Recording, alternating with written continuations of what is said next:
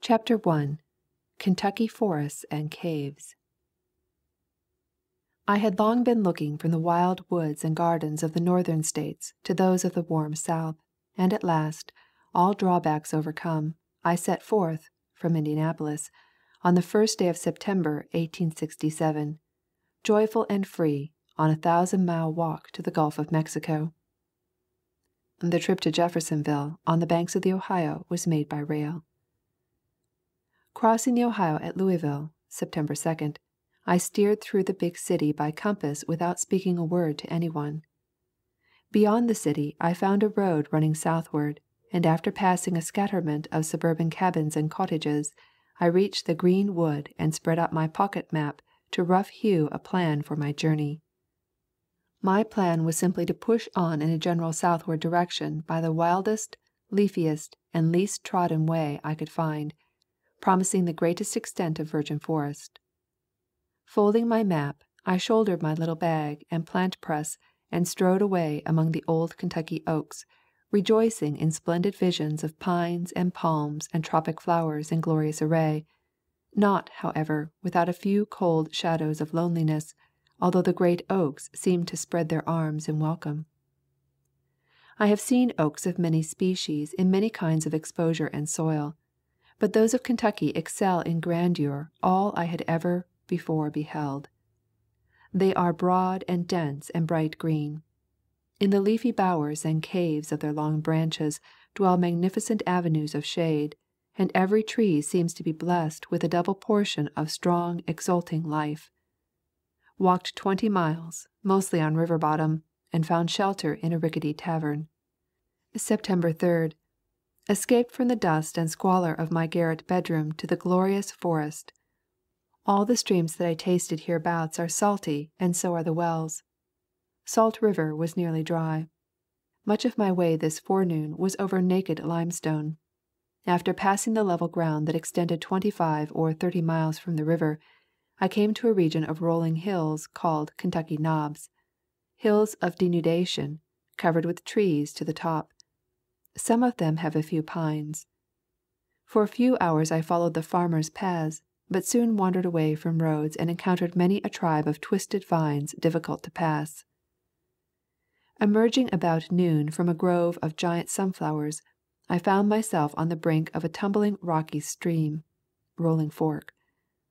I did not expect to find bridges on my wild ways, and at once started to ford, when a negro woman on the opposite bank earnestly called on me to wait until she could tell the "men folks" to bring me a horse, that the river was too deep and rapid to wade, and that I would "sartain be drowned" if I attempted to cross.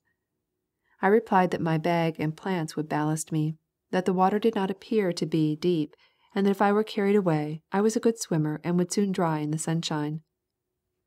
But the cautious old soul replied that no one ever waded that river and set off for a horse, saying that it was no trouble at all. In a few minutes the ferry horse came gingerly down the bank through the vines and weeds. His long stilt legs proved him a natural wader. He was white, and the little sable negro boy that rode him looked like a bug on his back. After many a tottering halt, the outward voyage was safely made, and I mounted behind little Nig. He was a queer specimen, puffy and jet as an India rubber ball, and his hair was matted in sections like the wool of a merino sheep.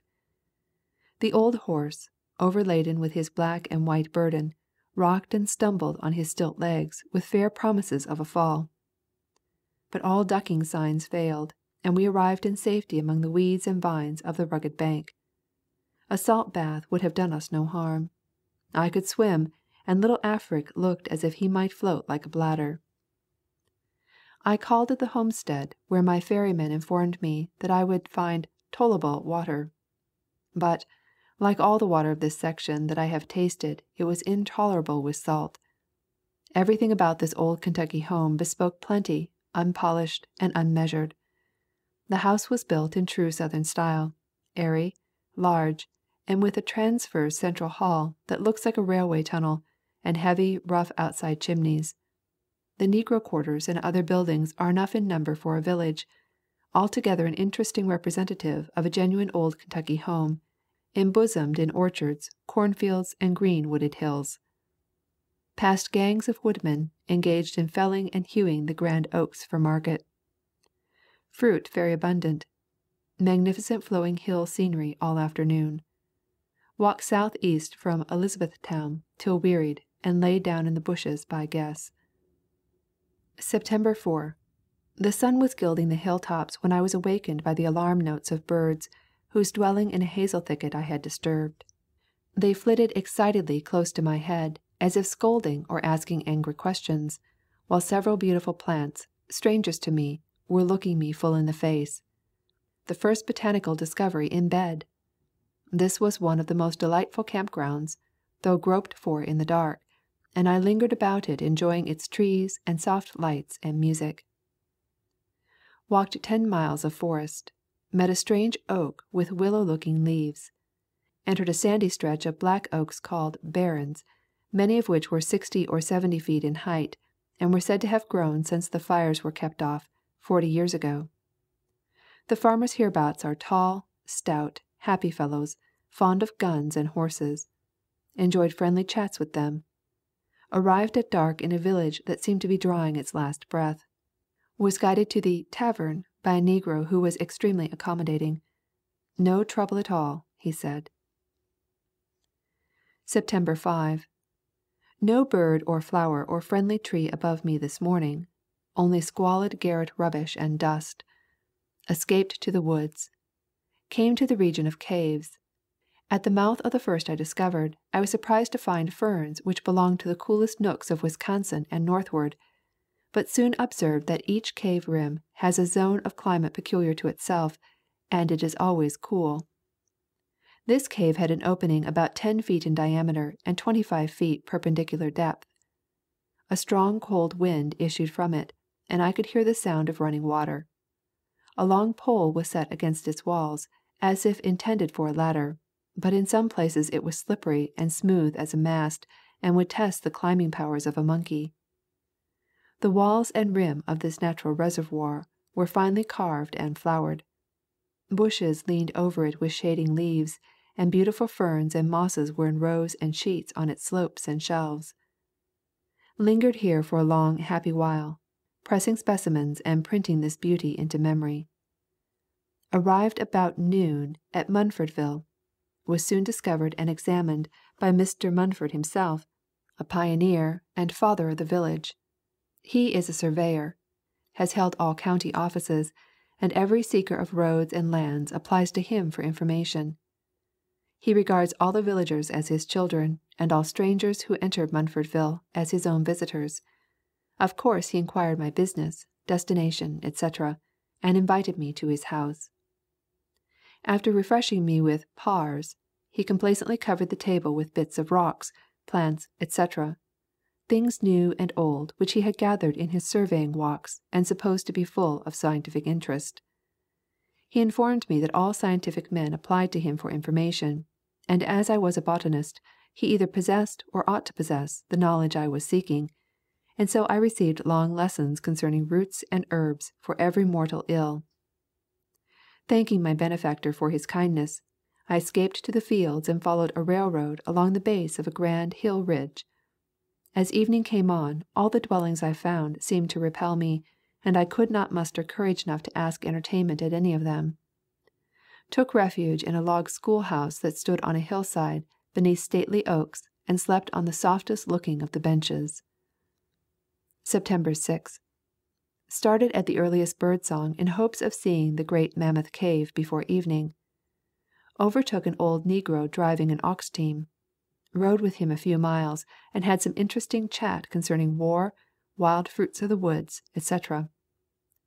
Right heah, said he, is where the Rebs was a tearin' up the track, and they all a sudden thought they seed the Yankees a comin', ober dem big hills dar, and Lawd, how dey run!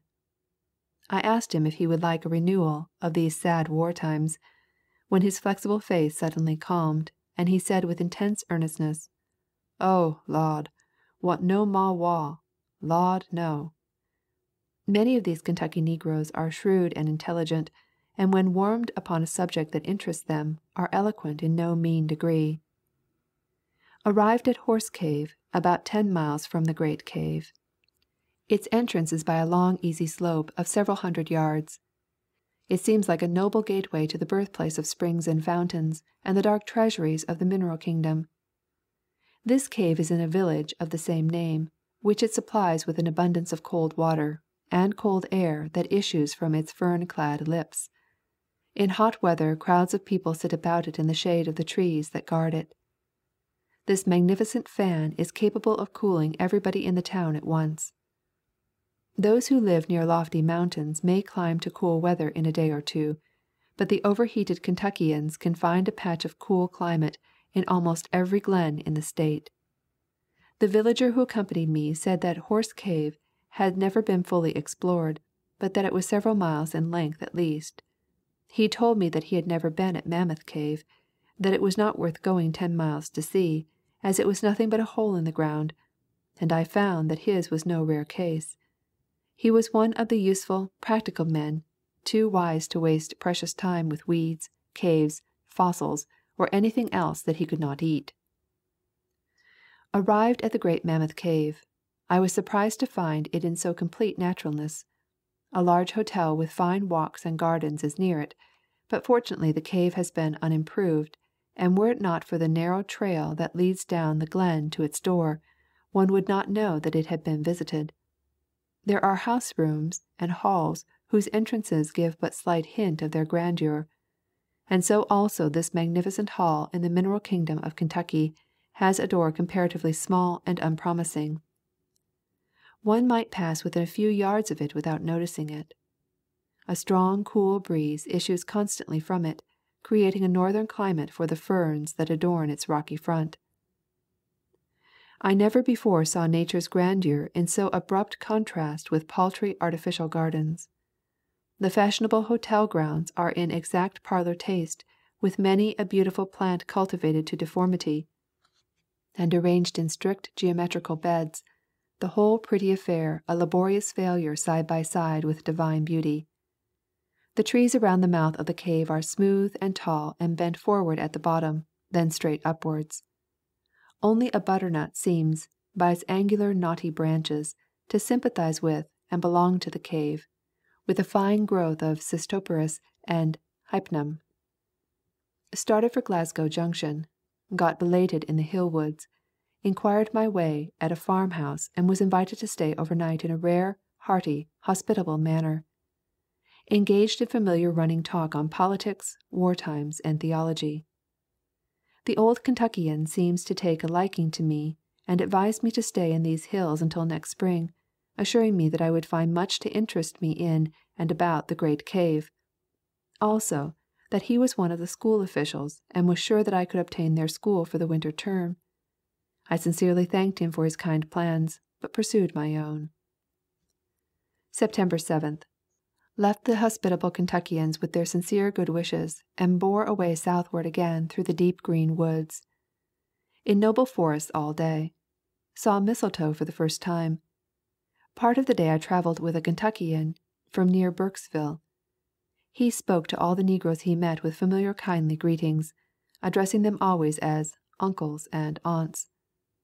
All travelers one meets on these roads, white and black, male and female, travel on horseback. Glasgow is one of the few southern towns that shows ordinary American life. At night with a well to do farmer. September 8. Deep, green, bossy sea of waving, flowing hilltops. Corn and cotton and tobacco fields scattered here and there. I had imagined that a cotton field in flower was something magnificent, but cotton is a coarse, rough, straggling, unhappy looking plant not half as good looking as a field of Irish potatoes. Met a great many negroes going to meeting dressed in their Sunday best, fat, happy looking, and contented. The scenery on approaching the Cumberland River becomes still grander. Burkesville, in beautiful location, is embosomed in a glorious array of verdant flowing hills. The Cumberland must be a happy stream. I think I could enjoy traveling with it in the midst of such beauty all my life.